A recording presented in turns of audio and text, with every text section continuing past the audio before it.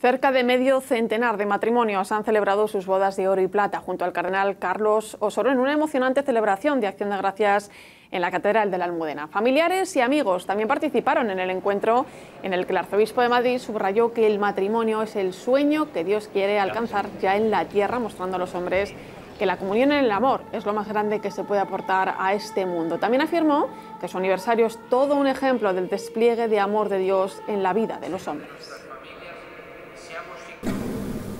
Somos todos nosotros un sueño de Dios. Pero hoy que estáis aquí los matrimonios, el matrimonio es el sueño que Dios quiere alcanzar ya en esta tierra, mostrándonos que la comunión y el amor es lo más grande que se puede aportar a este mundo.